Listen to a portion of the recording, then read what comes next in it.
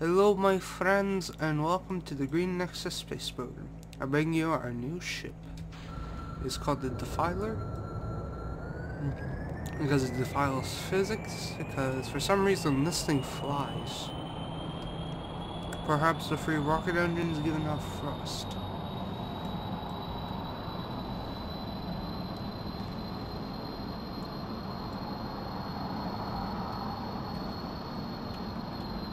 We're just gonna turn this around.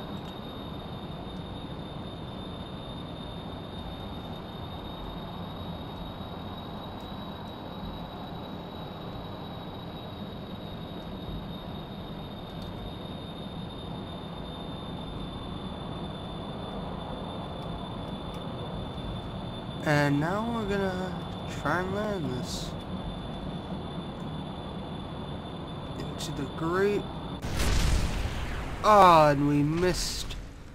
We missed the opening by a few meters. Damn. I hope you enjoyed and I'll see you next time.